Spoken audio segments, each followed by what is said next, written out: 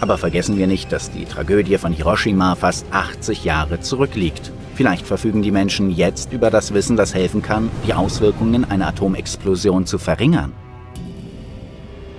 Das amerikanische Interagency Modeling and Atmospheric Assessment Center entwickelt Rettungspläne für verschiedene Notfälle, darunter auch für einen Atomangriff.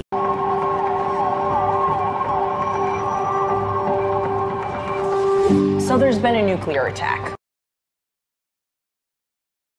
Don't ask me how or why, just know that the big one has hit, okay? So what do we do? Sundays, holidays, vacation time, we must be ready every day, all the time, to do the right thing if the atomic bomb explodes.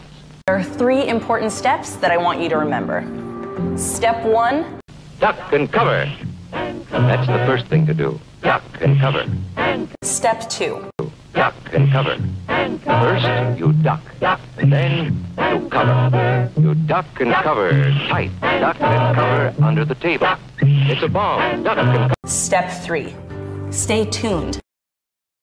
It's a bomb. Duck and cover. Duck and cover. That's the first thing to do. Duck and cover. First, you duck. And then you cover. You duck and cover tight. Duck and cover under the table. It's a bomb. Duck and cover. He did what we all must learn to do. You and you and you and you. Duck and cover.